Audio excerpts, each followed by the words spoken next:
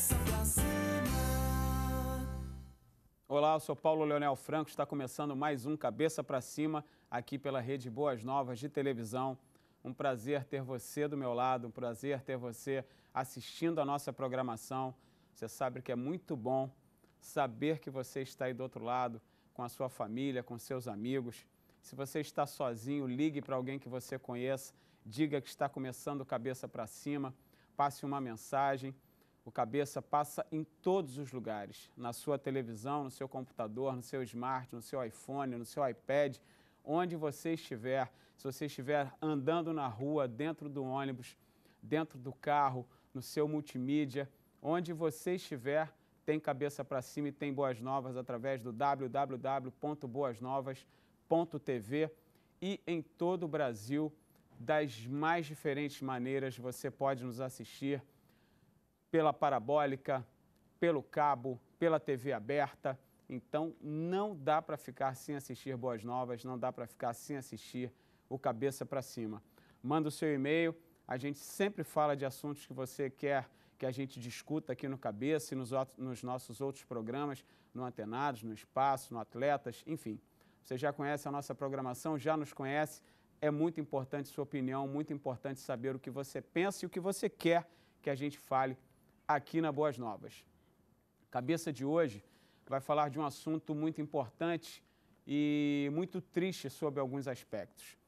Todo mundo sabe que não é bom ser rejeitado, todo mundo sabe que não é bom ser considerado invisível.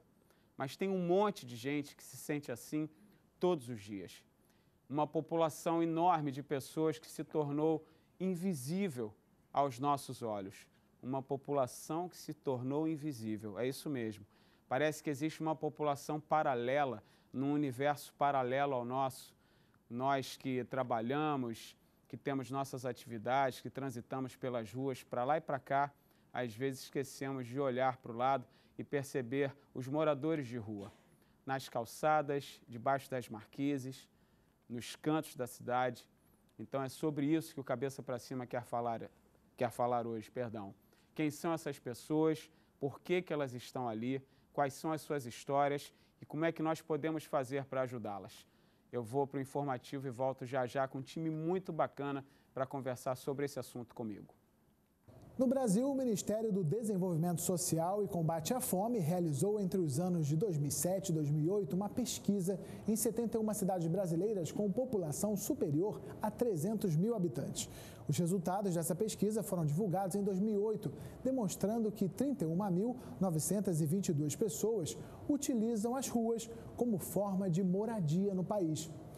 Somente as ruas da cidade de São Paulo abrigam 15.905 pessoas, segundo o censo da Secretaria de Assistência e Desenvolvimento Social. O número representa uma alta de 10% em relação ao último levantamento de 2011. Naquele ano, havia 14.478 moradores de rua na capital paulista. A pesquisa indica que 82% desses moradores são homens as mulheres somam 14,6%. Ainda de acordo com o levantamento, 36,6% dos moradores de rua têm entre 31 e 49 anos, enquanto 19,7% têm entre 50 e 64 anos. Pois é, um assunto que a gente quase não vê debatido. Nós vamos debater hoje no Cabeça para Cima, vamos falar sobre os moradores de rua. Eu recebo Adilson Pires, ele é o vice-prefeito da cidade do Rio de Janeiro. Adilson, prazer te receber, uma honra. Obrigado por ter vindo. Obrigado você, Paulo. É um prazer estar aqui também conversando contigo e com teus ouvintes. Legal. Quem está comigo também é o Leandro Luz. Ele é cantor e é ex-morador de rua. Tudo bem, Leandro? Tudo bem, Paulo. Obrigado pelo convite, pela oportunidade de estar aqui, tá? Obrigado por ter vindo. Obrigado. Muito bom. E quem vai conversar comigo também é a Maria Domingas Vasconcelos Pucu assistente social da Secretaria Municipal de Desenvolvimento Social. Assim que se pronuncia seu nome, Maria? Sim, sim, sim. Maria Domingas Vasconcelos. Sim. Francês? Sim. Não, espanhol indígena. Espanhol indígena. Legal, bom ter você aqui, Maria. Obrigada, Paulo. Maria está grávida, coisa boa. Sim, obrigada. Mais uma criança para o planeta. Isso aí, obrigada, Paulo. Legal, bom ter vocês. Adilson, eu estava falando com você na hora que a gente estava conversando antes de começar o programa, você me fez é, eu me lembrar do Jô Soares, daquele personagem que ele tinha. Quem tem a minha idade ou mais vai lembrar, o, quando ele brincava com Aureliano Chaves, que era vice-presidente da República, e, e ele dizia tirante Aureliano, não é?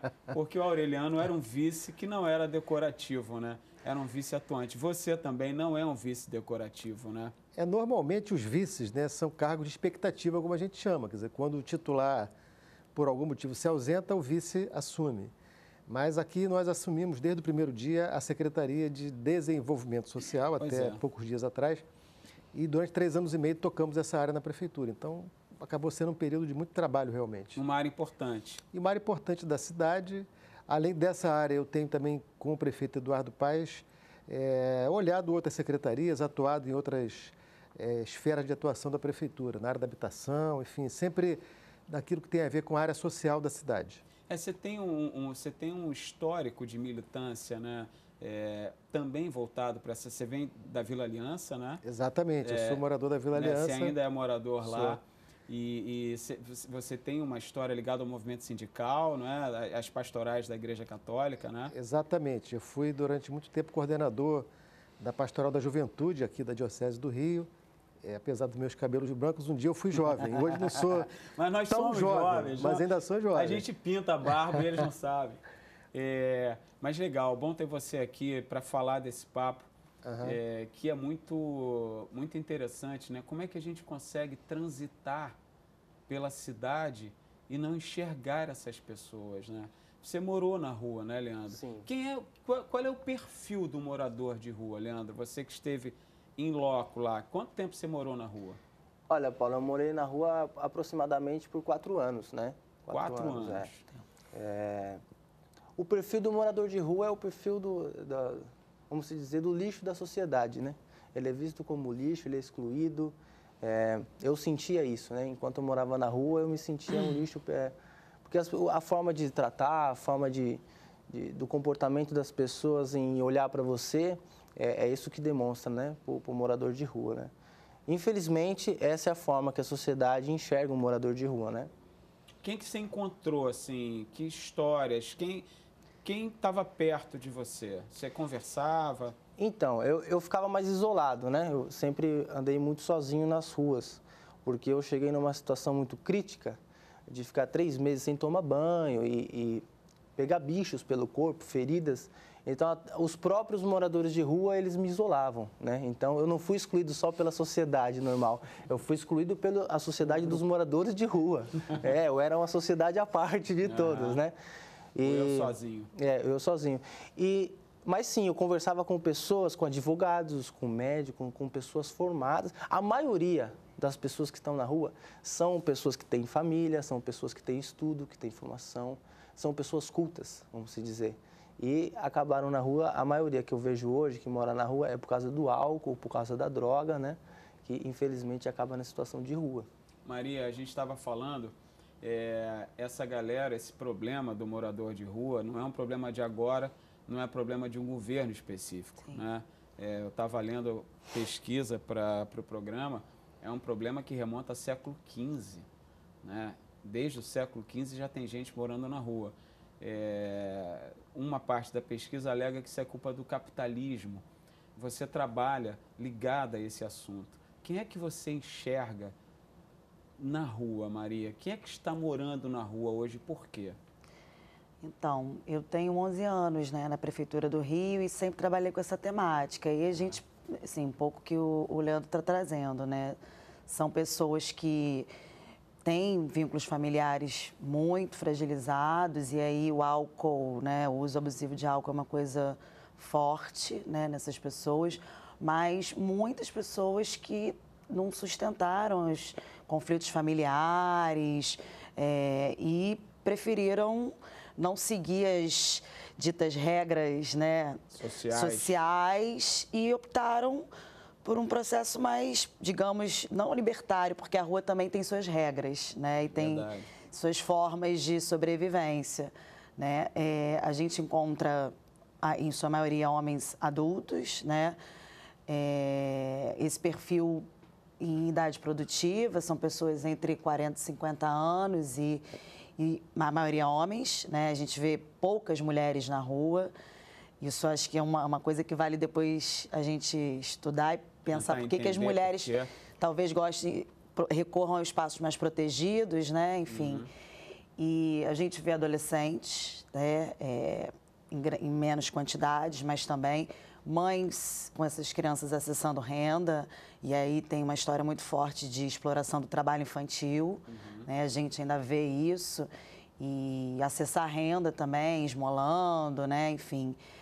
É, e é um pouco esse cenário assim que está meio estabelecido, né? E, e o Rio de Janeiro, por ser uma, uma metrópole, atrai muito essa galera, né, Adilson? As grandes cidades do mundo né, têm esse, esse problema, esse drama, vamos chamar assim. É, nós, para é, estabelecermos a política pública na cidade do Rio, fomos conhecer como outras cidades tratam isso. Então, sei lá, Nova York, que é uma das cidades mais, mais ricas do planeta, Mais cosmopolita. mais talvez, né? cosmopolita, mas enfim, é, tem muito morador de rua. Eles têm mais moradores de rua do que o Rio de Janeiro. É, você tem morador de rua em, sei lá, em Paris deve ter, tem morador de rua. Em Londres tem mais Claro. morador de rua do que no Rio de Janeiro. né? Então, todas as grandes cidades têm moradores de rua. São Paulo, né, o dado da, da, da, da- da reportagem fala de 15 mil. Aqui no Rio, o nosso censo apontou 5.580 moradores vivendo nas ruas. Então, é um número muito alto. E é um problema, repito, um problema que ele não é, é da cidade do Rio, é um problema mundial, como você falou, remonta Muito a, a muito tempo, a séculos, né? E o desafio nosso é encontrar formas, eu diria, eu tenho usado muito essa expressão, é, usar formas assim fraternas, carinhosas, é, e ao mesmo tempo formas assim é, é, da cidadania tratar esse tema, não tratar como disse o, o Leandro, é, porque muita gente trata com desprezo, outros tratam com pena, né? Não é isso que vai ajudar aquela pessoa a se recuperar, Se reerguer. se reerguer, né? O que vai ajudar ela a se reerguer, é ela ser olhada com esse sentimento de, de, de fraternidade, um olhar humanista para Um essas pessoas. humano, né? E a cidade tratar isso do patamar civilizatório que outras cidades têm tratado no mundo. É, você falou, por coincidência, três cidades e em duas delas a minha mulher já morou. Minha mulher morou em Londres e morou em Nova York. E ela sempre reporta a questão do morador de rua. E, é, na Europa, em Londres, por exemplo, são imigrantes. Uhum, São verdade. pessoas que vêm de outros países menos desenvolvidos do que a Inglaterra eh, e vão para as ruas porque um dos motivos é não ter emprego, não ter trabalho. O capitalismo favorece quem trabalha, quem tem renda, quem pode ter posse, quem pode comprar, quem pode sobreviver. Então, muitos imigrantes. E em Nova York, a mesma coisa, com o somatório do pobre é, americano que faz o mesmo movimento que o pobre brasileiro faz no Brasil. O cara sai As cidades de mais interioranas cidades mais pra- interioranas e vai a Nova York, pelo que você falou, é uma Verdade. cidade cosmopolita. Né? Aqui no Rio, 40% de quem vive nas ruas da cidade não são, Não são é, oriundos da cidade não são do Rio de Janeiro, não cariocas. são cariocas. Tem muita gente de outras cidades, de outros estados, até de fora do país, né? Já em- Nos abrigos nossos tem gente de fora do país. Então é uma, é uma, é uma característica, né? Quer dizer, como você bem falou, é, de pessoas que de alguma forma chegam até as grandes cidades com o sonho né, da, enfim, de melhorar de vida, de conseguir um. E aí é claro que o, enfim, a cidade ela acaba sendo excludente, uma sociedade, como você lembrou, Claro. capitalista, não tem emprego para todo mundo. E aí são vários os problemas, né? Esses que o Leandro falou, o que a Maria falou, enfim, é um, um problema assim, muito complexo, mas que, de certa forma, eu entendo que hoje vem se caminhando né, de forma mais positiva para ter assim, uma solução. É sobre isso que a gente vai falar no segundo bloco. A gente vai aprofundar esse papo e vamos tentar identificar, caminhar por uma, uma solução ou dicas ou ajudas que a gente possa dar para melhorar esse problema. Eu volto já já com cabeça para cima. Cabeça pra cima. Cabeça pra cima. Voltamos com cabeça para cima hoje falando sobre morador de rua. Essa galera quase invisível que você vê e ao mesmo tempo não vê. Às vezes a gente finge que não vê, né? E a gente está aqui para tentar ajudar a entender melhor esse assunto. Estou com o Adilson, estou com o Leandro, estou com a Maria, queridos. E quem, quem você falou de, de abrigos, né? Uhum, a Prefeitura do Rio tem abrigos. Tem abrigos. Quantos? Olha, nó- nós temos hoje na cidade do Rio de Janeiro mais ou menos 2.300 pessoas vivendo em abrigos. É, dessas 1.600 em abrigos próprios da prefeitura e mais ou menos umas 700 pessoas em abrigos conveniados de instituições, é, enfim, algumas religiosas, outras não, enfim, que fazem convênio com a, com a prefeitura. E a cidade vem procurando, ultimamente, qualificar esses abrigos, porque nas nossas pesquisas com o morador de rua, é, o que nós detectamos é que muitos deles não querem ir para o abrigo, por isso tem tanta gente na rua, né? É, porque o abrigo às vezes não oferece um mínimo de privacidade, não oferece. Ele, ele não se sente bem, né? Ou é muito longe, ou é muito degradado, ou no abrigo tem uma mistura de gente que, enfim, faz aquela pessoa se sentir melhor na rua do que no abrigo. Olha só. Que é uma loucura, né? Quer Uma dizer, loucura. a pessoa O achar. cara que- se sentir melhor na calçada do que no abrigo. é. Tem, tem morador que fala pra gente que ele se sente com mais privacidade dormindo, é, sei lá, embaixo de uma ponte, embaixo de uma marquise, do que num abrigo como nós tínhamos, não temos mais hoje, tínhamos até pouco tempo, mas um abrigo em que você colocava para dormir num grande galpão, às vezes 80, 100 pessoas, todo mundo junto. Em beliches, em coisas, enfim, sem um mínimo de privacidade. higiene, banheiros privacidade, às vezes. precários, exatamente. Então, esse- essa rede está, ela foi qualificada. Hoje nós temos abrigos da prefeitura, pouca gente sabe disso, por isso é tão importante o, teu, o debate do teu programa. Os abrigos nossos hoje todos são assim, quartos para no máximo quatro pessoas. Legal. Duas beliches, armários eh, individuais para cada um guardar seus pertences, unidades no máximo para 48 pessoas, com banheiro, com uma estrutura e com equipe eh, multidisciplinar de psicólogo, assistente social, educador social, eh, na tese de que nós temos que tratar cada pessoa daquela na sua individualidade. Porque cada um daqueles 48 que está naquele abrigo não são 48 casos exatamente iguais.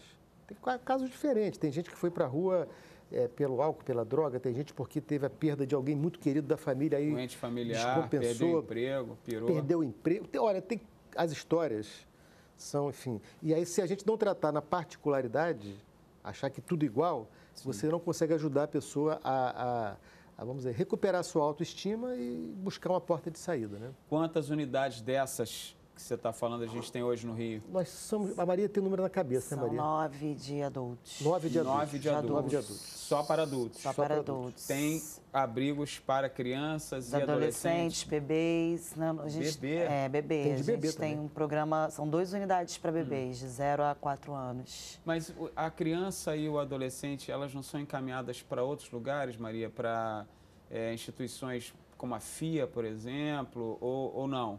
Vão Não, abrigo? é, na verdade, a municipalidade cuida disso também. A Hum. gente tem uma rede própria e conveniada, como a Dilson falou. Hum. E criança e adolescente, ele para estar em unidade de acolhimento, ele tem que estar com uma medida provisória, né, expedida pelo juízo, de proteção, porque ele sofreu alguma violação de direitos, precisou ter um afastamento temporário né, do, do grupo familiar, pais, genitores, enfim. E a ideia do abrigo, e só para reforçar um pouco o que a Dilson disse, porque historicamente o abrigo era um lugar lá em 1500 de depósito, Depósito de de exclusão. gente. pois é. Né? E, e é um pouco hoje que as pessoas também entendem. Inclusive, o abrigo, né? É, o, o sujeito tem direito de ir e vir. É um espaço, né? assim como todo cidadão tem direito de ir e vir, não é diferente da unidade de acolhimento. Então, ele tem que fazer uma adesão para estar no abrigo. Então, é, a partir desse, dessa apresentação de uma proposta, porque o abrigo, o sujeito tem que estar disposto a reconstruir sua trajetória. Né? E Claro que isso não é um processo fácil, é de idas e vindas. Pode ser que ele não sustente no abrigo, que ele vá, volte para a rua, né? porque, assim como a sociedade, o abrigo tem normas, tem pactos. E aí ele constrói o que a gente chama de plano de desenvolvimento individual, né, que é um percurso dele, que ele constrói junto com essa equipe técnica formada por assistentes sociais e psicólogos, onde ele vai traçar metas, sejam elas de se envolver num tratamento para dependência química, seja para tirar a documentação. Paralelo a isso, a gente vai discutindo com ele qual é esse vínculo familiar que ele tem, que algum tempo ele perdeu, ou um vínculo comunitário que ele estabeleceu, E a ideia é que ele tenha uma temporada, né? Lá. Tem um limite para ficar lá, Maria? É, a gente, é, é, a gente brinca que ser humano não é receita de bolo, né? É. Mas a gente criou aí um percurso aí de seis a nove meses que, pela prática, pela vivência e pelos dados que a gente tem, que seria um tempo bacana. Mas é claro, há casos e há casos, né? Esses nove meses que a Maria fala, Paulo, te cortando, Não, desculpa, imagina. nós, nós visitamos algumas instituições do Rio de Janeiro que trabalham com essa meta de que em nove meses Você vai conseguir. você. E, e, de certa forma, nove meses é o período de uma gestação. É, né? verdade. E, e algumas que nós visitamos tinham essa tese, né? Quer dizer, primeiro mês aquela pessoa se desen... é, um- é um período de se desintoxicar, depois tira documento, depois começa a cuidar. Você tem que cuidar do corpo, Saúde, da, né? da, da, da alma Da daquela mente, pessoa, da da, alma, mente, da, claro. enfim, é, um- é um cuidado completo. E aí muitas entidades e o nosso projeto da prefeitura hoje é esse, é que há uma meta para a nossa equipe. Nós temos equipes, essa equipe em nove meses como a Maria falou, não é uma receita de bolo. Vai ter alguém que em nove meses Uhum. não está preparado para voltar para a rua. Para a rua, que eu digo não para morar na rua, mas Sim, para pra- né? pra família, para trabalhar, né? para Se reinserir. Exatamente. É. E pode ter aquele que em seis meses fala assim, olha, eu estou legal, quero, Quero voltar. emprego, quero voltar para casa, para minha família e tal. Mas há, é- há essa meta hoje na prefeitura. É, o que, que essa equipe multidisciplinar, o que, que ela faz exatamente para trazer o cara para reintegrá-lo à sociedade? Só papo, tem atividades? Sim, sim, sim. O que, que tem, Maria? Na verdade, o trabalho eh, de atendimento à população de rua, ele começa na rua, né? Além dos abrigos, a gente tem o Centro de Referências Especializados em Assistência Social, que são os CREAS, onde a gente tem uma equipe de abordagem social. Então, este trabalho é todo... É na rua, isso é em loco. É na rua, exatamente, em loco, que dialoga com as equipes do abrigo, né? Uhum. Então, as equipes, e aí são é, multiprofissionais, tem toda uma sensibilização. Primeiro vínculo, é isso, é olhar no olho do, do, né, da pessoa, não ter estigma, né, não, não, não, não naturalizar ali, ou tra- tra- tratar ele como invisível. Então, É. e é um trabalho que se vai se estabelecendo. A partir do momento que é, o indivíduo é aceita né, e adere tá na, na, numa unidade de acolhimento, a partir desse pacto que, que eu mencionei feito. anteriormente, né, a gente leva ele à unidade. Né, e aí, dentro do abrigo, né, desde um processo dele falar assim, o que, que ele deseja, né? Porque a gente tem que trabalhar com os desejos, como qualquer um. Ele pode é, as pessoas desqualificam, mas é isso aí. Ele, existem médicos, existem arquitetos, Advogados, existem artistas, artistas. né? Que interromperam sua trajetória. E ele tem o direito, como qualquer cidadão, de ter sonhos. Né? Então, a gente inicia o nosso processo de atendimento a partir do desejo e sonhos desse sujeito. Bom, a partir daí a gente constrói um plano, né? E dentro do- das unidades de acolhimento a gente tem grupos, né?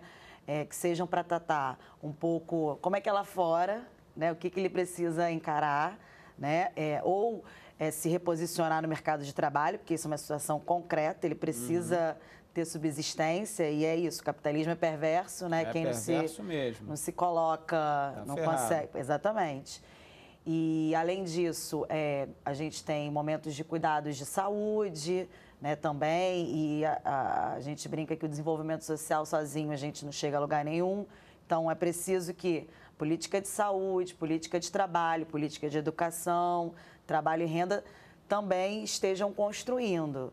A ideia é que a gente acesse essa rede intersetorial né, das políticas sociais e também dos parceiros que a gente tem, né? Sociedade civil, enfim, uma rede local desse sujeito. E a partir daí a gente vai caminhando e sempre de forma democrática, né? Reavaliando com ele, porque não faz sentido, ele é o sujeito e protagonista dessa história, e uma né? coisa, Paulo, que nós detectamos, que eu estou vendo aqui, o Leandro é uma boa... Nós detectamos o seguinte, o abrigo não pode ser visto como um lugar triste. Ah, sim. em que a pessoa entre ali e tem uma disciplina quase que militar. Sim. Acorda sete horas, dorme 10 horas, estuda, trabalha, não sei o quê. E, blá, blá, blá, e, e você tenta. É um lugar bom. Tem que ser um lugar que tenha alegria. Eu defendo a tese que o abrigo Claro. tem que ser alegre. Eu fui. Até porque, desculpa, que até se ele for do jeito que você falou, O cara vai- muitos- o cara vai querer muitos sair fora. Eu- abrigos Eu horrorosos. mesmo não iria, eu não, nunca fui num Claro. abrigo. Por quê? Porque o, o morador de rua, ele se adapta numa rotina diferente da sociedade. Sim. Então você nunca vai conseguir é, resgatar ele, você colocando ele na mesma rotina que a Sim. sociedade segue. ele tem a rotina dele. Então o horário de dormir é diferente, o horário de acordar, o horário de comer. O, o morador de rua, na verdade, não tem horário para nada. Então por isso que eu nunca fui para um abrigo. Porque lá você tem hora para entrar, você tem hora para sair. Você chegou a ser abordado, Leandro, por alguém Sim, dessa, dessa muitas galera? Vezes, muitas, muitas. É. Até acho muito legal esse trabalho né, do pessoal na rua tentando resgatar os moradores de rua, né, como assistência e tal, porque é, é, a única, é o único horário é, que você se sente é, visto, lembrado, né? olha Então só. acaba mexendo com o morador de rua. Mas como eu falei, eu não ia porque eu- no meu caso eu sempre tive a porta aberta da minha família para me ir embora para minha casa.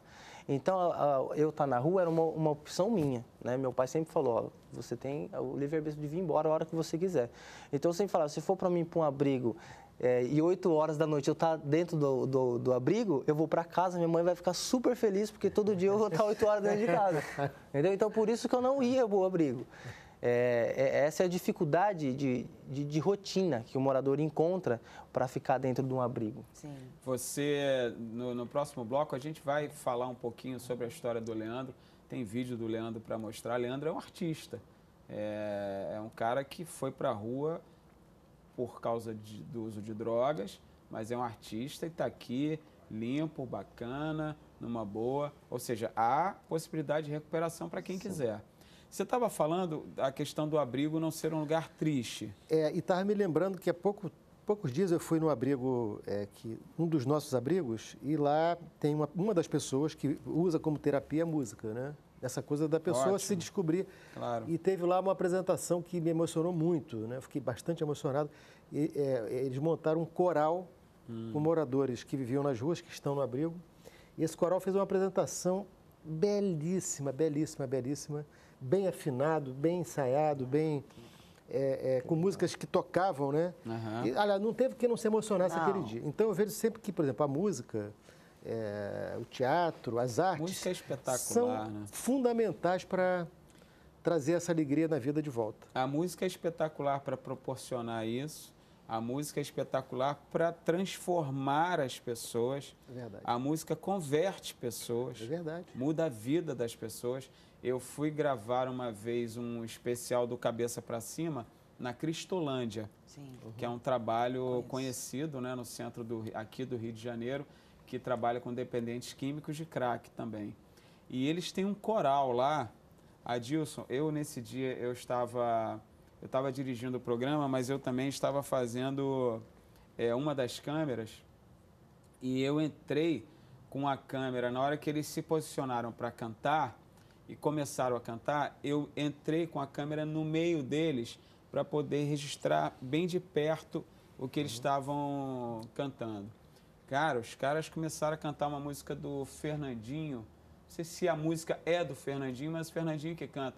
É, eu sou livre, eu sou livre, nada além do sangue. Cara, quando os caras cantaram isso assim. Plenos pulmões eu ali. sou livre. Meu É, irmão. é muito emocionante. É um negócio assim impressionante. E com a música do Fernandinho eu vou ao intervalo e volto já já com mais cabeça para cima para falar de alguém que agora é livre. Leandro, eu volto já. Cabeça pra cima. Cabeça pra cima. Voltamos com cabeça para cima hoje falando sobre os moradores de rua. Eu estava conversando com a Maria, com o Leandro e com o Adilson antes de começar o programa, falando para eles que a minha oração diária, quando eu boto o travesseiro, boto a cabeça no meu travesseiro, eu digo, Senhor, obrigado, porque eu estou na minha casa, porque eu tenho cama, porque eu tenho cobertor, porque eu estou aqui no quentinho. E, e, e oro pelas pessoas que estão nas ruas. Ah, eu sou da igreja Vineyard, aqui no Rio de Janeiro, do pastor Luciano Manga, meu querido brother Manguinha, e nós temos um trabalho de ajuda a populações de rua. É, no segundo sábado do mês, a gente recolhe mantimentos, cobertores, roupas e em parceria com o pastor Cláudio, Antônio Cláudio, da Igreja Batista lá no centro do Rio, a gente vai na Uruguaiana e faz um evento lá para a galera, entrega, é muito bacana. Vou convidar você a assistir comigo agora um vídeo que vai te surpreender. Roda aí, Adri.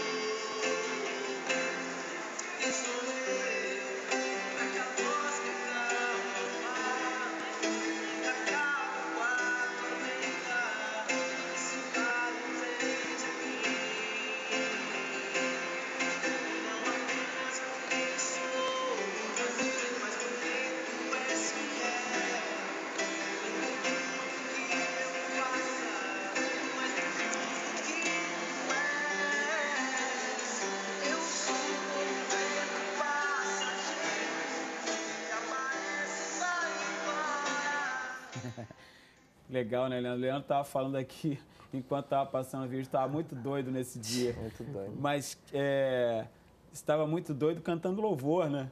É, então, é porque assim, a, a minha trajetória foi um... Eu acredito, eu acredito muito assim que Deus deixou eu ir morar na rua, permitiu pelo meu, pela minha decisão de, de virar um morador de rua, mas para quebrantar e moldar a minha personalidade, né? E eu, eu só tocava louvores ali no, no piano, né? E o meu ministério não começou agora que eu gravei um CD. Meu ministério começou ali na Estação da Luz, ali no piano, na rua. Porque Quem era esse piano, Leandro? esse piano era um projeto do governo do estado de São Paulo, que cada estação tinha um piano. Então qualquer um podia ir lá e tocar. Sentar e tocar. Sentar e tocar. E eu descobri esse piano é, lá na Estação da Luz, na região da Cracolândia, eu morava, né? E eu ia lá tocar. E, e tocava, as pessoas me davam dinheiro. é, é, Aí você comprava crack. comprava crack. Só que a diferença foi essa, é, Paulo, quando é, eu, eu fui para a rua ateu, né? Eu fui para a rua ateu, não acreditava em Deus. Hum. Por que, que Deus, você foi pra rua? Eu fui para a rua por causa da minha dependência do crack, né? Por oito internações que eu tenho, oito internações, e nenhuma delas deu resultado. Né? Por que, que não deu resultado? A gente vê pessoas que vão e saem de, de clínicas e não têm resultado. Porque eu acredito que, que automaticamente, quando ela entra num, num, num centro para se recuperar, ela automaticamente já cuida do corpo e da mente. Ela já se alimenta, já cuida da mente, está sem droga. E eu aprendi na minha vida, com a minha experiência, que para a gente ficar limpo, a gente tem que estar com, com um tripé: mente, corpo e espírito. e é o espiritual que sempre a pessoa sai pendente, por isso que ela sempre cai, sempre cai. Porque essa doença é uma doença espiritual, então ela não se encontra espiritualmente e acaba voltando ao uso de drogas, né? E a, a minha ida na rua foi para me mostrar a existência de Deus, porque eu era ateu.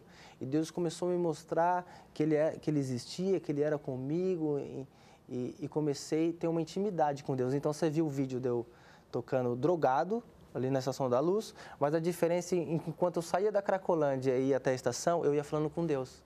Você era teu, mas como é que você cantava louvor? Onde é que você escutava isso? Quem, qual é a tua... Então, tua- eu- Você tem lar cristão, seus pais? Sim, eu Hum. cresci num lar cristão, né? Eu cresci na igreja, me batizei com 13 anos. Hum. E na primeira oportunidade que eu tive de sair da igreja, eu saí para tocar no secular, no secular, né? No mundo, dizendo que é, Hum. Né, os evangélicos dizem. É. Eu fui tocar e comecei a conhecer o mundo. Então, me desviei da igreja e eu sempre fui uma pessoa muito eh, de duvidar das coisas e querer saber nos mínimos detalhes a existência de tudo. Então, comecei a ler livros que falavam sobre o ateísmo e tal e, e virei ateu.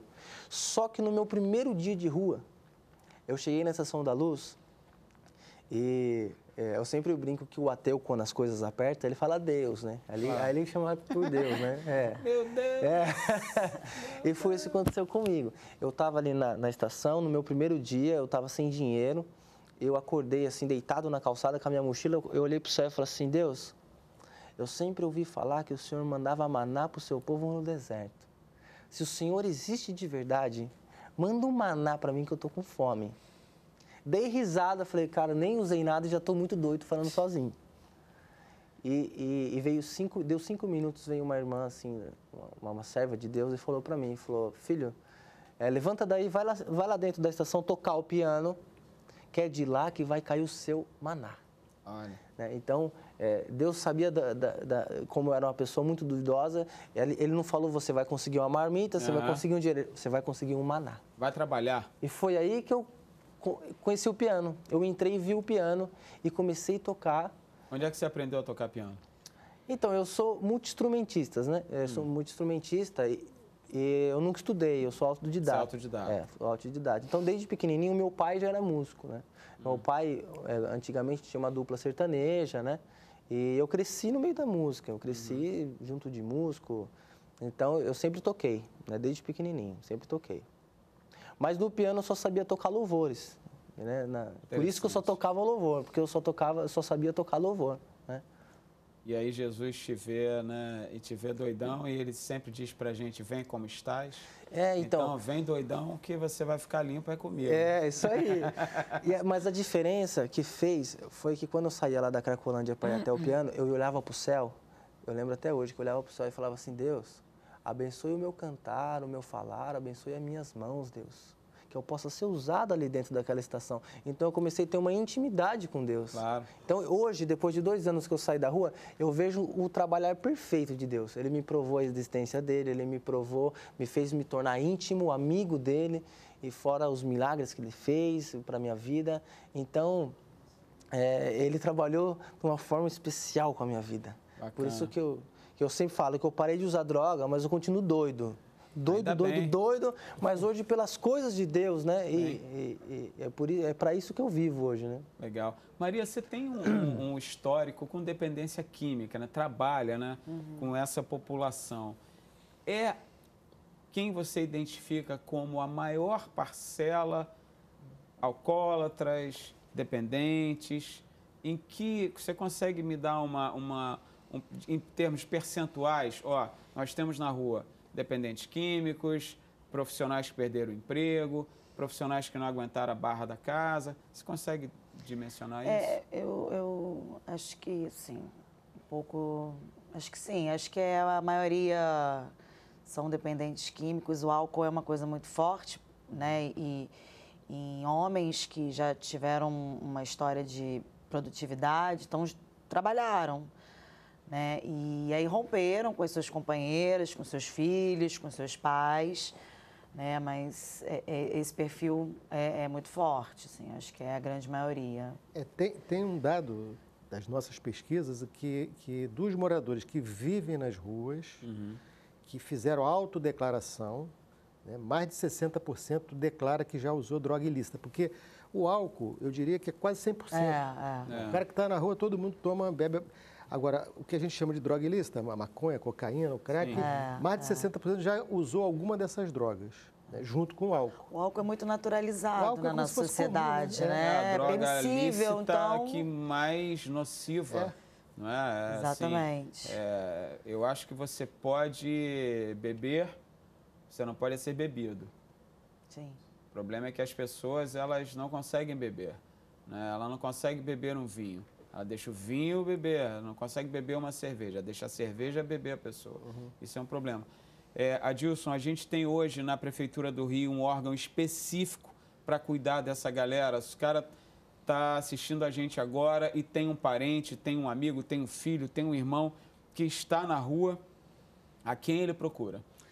Nós temos um projeto chamado Proximidade. Né? Esse projeto ele eh, se faz presente nas ruas, numa política de aproximação com aquele morador. E no caso de usuário de drogas, esse usuário de drogas que eh, eh, as nossas, a pesquisa, uma pesquisa nacional, inclusive, diz o seguinte, que 80% de quem usa crack no Brasil quer deixar o crack. Com certeza. 80% quer deixar. Mas desses 80%, apenas eh, 20% procura ajuda. Aí nós começamos a pensar, bom, se 80% quer deixar, por que, que só 20% procura ajuda? Porque os outros não sabem aonde procurar ajuda. Ninguém sabe assim, aonde eu vou, qual o eu endereço que eu vou? né? Então, a tua pergunta, é, o Proximidade é um projeto que nós criamos são equipes também nossas que estão presentes nas ruas, nas Cracolândias. A Cracolândia que existe ali é, no Complexo da Maré, Nova Holanda, Parque União, Jacarezinho, está presente na Lapa, está presente, enfim, em vários pontos do Rio de Janeiro, oferecendo essa ajuda. Quando esse usuário diz que quer deixar, é claro que a partir de, um, de uma, de uma é, é, vamos dizer assim, um- uma preliminar feita por, por um médico, por um psiquiatra, se for o caso de necessidade de internação, nós temos parceiros que a Prontos prontos para recebê-los. Nem sempre os casos são de internação, muitos casos são de tratamento ambulatorial. né? A prefeitura tem os CAPs AD, que são é, espaços para fazer isso, e muitos dos que nós atendemos né, é, mantêm vínculo conosco até hoje, nas nossas unidades, nessas equipes de rua. É, Eu diria para você que o problema da droga é um problema também que não Universal. é, é universal, quer dizer, é uma coisa. Universal. E, e o crack talvez seja- seja uma das drogas mais devastadoras, porque ele gera uma dependência muito rápido. Sim. Né? É, e a pessoa que vai para a rua, que são as das cracolândias, são aquelas que estão na situação de morador vivendo na rua. Porque tem muitos usuários de droga que não estão na rua, Uhum. Sim. né? que voltam para casa. Sim. Tem gente que, entre aspas, tem uma vida normal, trabalha, tem trabalha, escritório. sim. Né? Claro. Mas os que estão na rua, eles são uma, um dever, uma missão nossa a tratar. Né? Então a gente oferece ajuda. Muitos eh, chegam a ser internados, outros não, outros fazem o tratamento ambulatorial. E pode procurar um abrigo direto, assim? Pode, se pode alguém ir no souber. abrigo. Pode. Se Como é que souber, encontra os endereços no site de vocês? Apareceram os contatos de vocês Sim. enquanto a gente está E conversando? no site da Secretaria de Desenvolvimento Social Tem tem, lá lá, os todos endereços. os acessos, os horários. A prefeitura mantém, desculpa, a prefeitura mantém também nos- no território todo da cidade eh, unidades, Uhum. os CRAs, os CREAS, quer dizer, muitas unidades visíveis da prefeitura. Então, se a pessoa, porventura, não conseguiu anotar o, o- o- o site, Site. não conseguiu, ela procura um órgão da prefeitura, um 746 também pode ser usado, né, aquele número. É. Liga para um 746, Dá olha, pô, eu tenho uma pessoa assim que está querendo ajuda e tal, a gente vai até aquela pessoa. Tem uma pergunta, você falou em Cracolândia, é, droga é caso de polícia, não é? O saúde tráfico, o pública, tráfico, o tráfico tráfico, de droga o é tráfico. caso de polícia. Droga é caso de saúde pública. Exatamente, Né? exatamente. É, morador de rua é uma questão de, De assistência. assistência. social. Existe alguma rede que interliga polícia, é, saúde e assistência social? Por exemplo, você falou na Cracolândia. As Cracolândias são visíveis Verdade. visíveis. Você passa lá, vê a Cracolândia, os caras estão usando. Não pode passar e recolher aquela galera, não pode passar e tirar aquela galera, dali e levar para ajudar, para assistir. Existe um movimento nesse sentido? Olha, hou- houve um tempo, Paulo, que havia uma, uma ação muito, eu diria assim, contundente de fazer isso. Né? Do ponto de vista legal, você não pode pegar uma pessoa que não esteja traficando, né? que seja Claro. um mero usuário, você não pode pegar aquela pessoa à força e... é, mas houve um tempo que houve uma ação ma- mais contundente. Qual o diagnóstico nosso? Não dá resultado. Não dá, em lugar nenhum do mundo dá resultado. Se não houver ali uma aquela centelha da pessoa querer. Então, aquelas cenas que você tinha na Avenida Brasil, ali na- no Complexo da Maré, de quatro anos atrás, em que você tinha o tempo todo as TVs mostrando aquelas Isso. imagens, aquela 300 pessoas correndo no meio da Avenida Brasil, drogada, gente atropelada. Aquilo, felizmente, nós conseguimos é, conter, Minimizar. reduzir. Ainda existe focos que às vezes vão até a Avenida Brasil, a gente faz a, a nossa ação ali de oferecer ajuda com proximidade, mas assim, hoje eu acho que a gente conseguiu avançar bem, Uhum. entendendo né, a parte social. Agora, tem uma parte da polícia, que eu sempre falo, é, ali tem o tráfico de drogas Tem que combater. do lado do usuário, quer dizer, Claro. o usuário não tem dificuldade de comprar Claro. droga, né? Claro. Então, tem o tráfico de drogas, tem toda a questão Claro. da violência do Rio de Janeiro, aí é um caso de polícia, tipicamente. Eu achei muito engraçado, eu vi, eu vi hoje, ontem, no G1, estão vendendo maconha empacotada aqui no Rio de Janeiro agora com a logo da Rio 2016 e tem uma frasezinha dizendo o seguinte, se não gostar, reclame na boca. Cara, é- É, é, uma outra questão, eu vou para o intervalo, Adri, mas uma outra questão rapidinho. É, muitas vezes, quando nós temos um grande evento na- na- nas grandes cidades, como vamos ter agora os Jogos Olímpicos, ah, os governos são acusados de fazer uma limpeza étnica na cidade. tira todo mundo da rua, esconde, manda para as suas cidades de volta. É verdade isso? Não. Vão fazer isso? Não. Não, isso é, isso é uma grande. Enfim, na Copa do Mundo, né? É, nós não fizemos nenhuma operação especial porque tinha Copa do Mundo, como não faremos na Olimpíada. Aham. Nós vamos continuar Vocês oferecendo. continuar trabalhando. Trabalhando, né? Na Copa do Mundo, muita gente falou assim: ah, os moradores de rua sumiram, fizeram uma limpeza, fizeram uma higienização no Rio de Janeiro. Isso é uma grande bobagem. Hum. Na Copa do Mundo, você passou a ter, além dos moradores da cidade, pelo menos mais 150 mil pessoas aqui. Verdade. Muitos irmãos nossos argentinos, muitos dormindo nas ruas. O que tinha de argentino dormindo em Copacabana, É, acampado. acampado. Então, Verdade. Os praias. nossos, os nossos moradores que vivem na rua, de alguma forma, se misturou, misturaram. aquilo vira, quer dizer, é menos visível, né? Aham. É menos visível do que num período normal. Entendi. Então muita gente ficou com aquela ideia, ah, isso é uma bobagem, jamais faríamos isso, a minha história é, como ser isso, humano né, não permite Adilson? fazer isso. Isso aí. Legal. Eu vou pro break rapidinho, eu volto, porque no último bloco o Leandro vai cantar pra gente, isso você não pode perder. A gente volta já já. Cabeça pra cima. Cima. Cabeça pra cima de hoje falando sobre morador de rua. Programaço, adorei esse papo. É, você viu a Dilson e a Maria falando a respeito dos abrigos, a respeito de, do- da população de rua. Você pode ligar, a gente vai colocar aí o telefone 1746 para você se informar, mas você pode pedir ajuda. Encontrou um órgão da prefeitura, vai lá, pergunta, procura saber, procura se informar. Se você tem um filho, um amigo, um irmão, alguém, se você está passando por isso, busque ajuda. Se não conseguir, fala com a gente, a gente intermedia ajuda para você. É muito bom bater papo com você, Adilson, com você, Maria. Maria Domingas. Sim. Legal. É, a gente não falou alguma coisa que vocês queiram falar, que vocês queiram dizer. Deixamos, esquecemos de falar alguma coisa. Olha, eu acho que talvez uma coisa importantíssima, né? Nós falamos no genérico de morador que vive na rua, mas tem um drama na cidade que é muito sério, que são crianças. Aham. Crianças que de alguma forma não estão na Também. rua, porque nós acolhemos, né?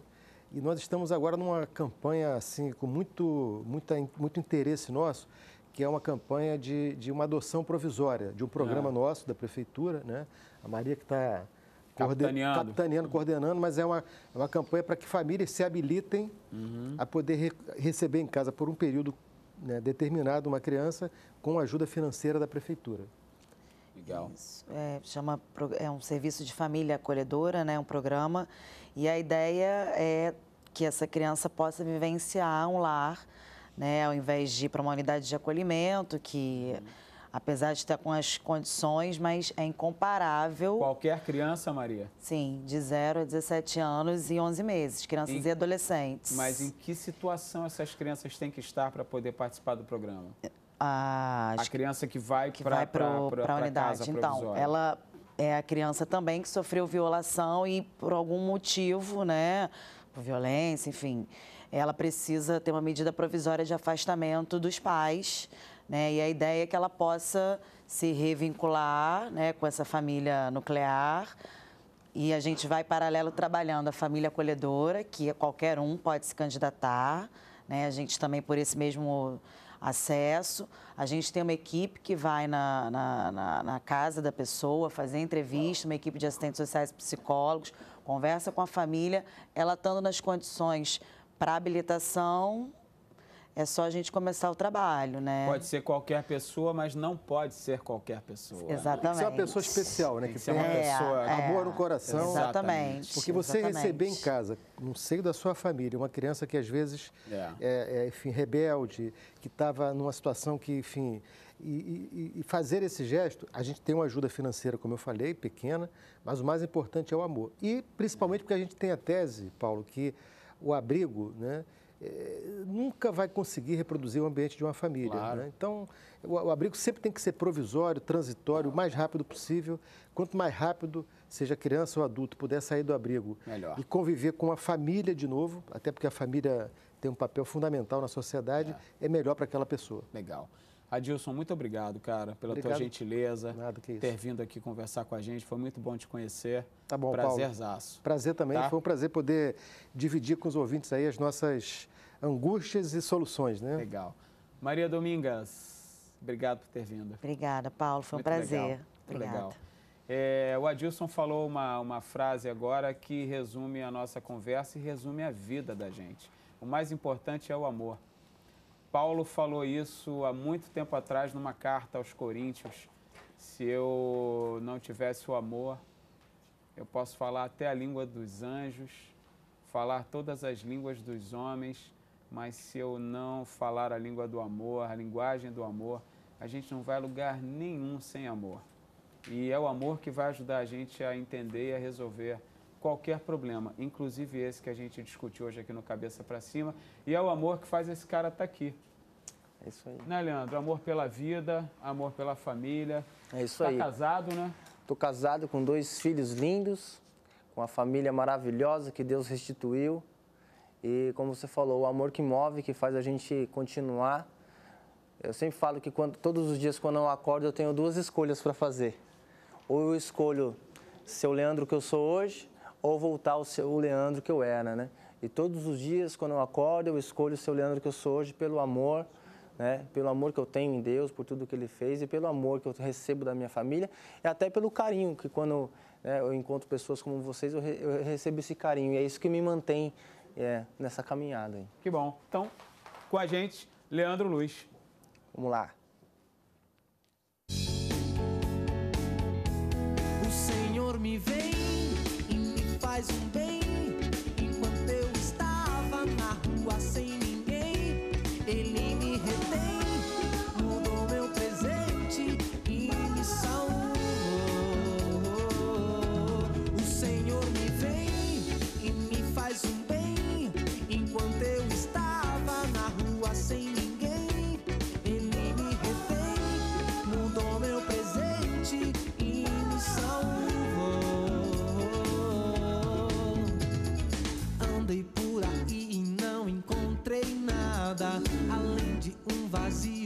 pela madrugada. Quantas vezes revirando lixo pela fome eu passei, eu passei. Andava por aí em meio à escuridão, com vazio tremendo dentro do coração. Então eu chorei e clamei. Então ele vem,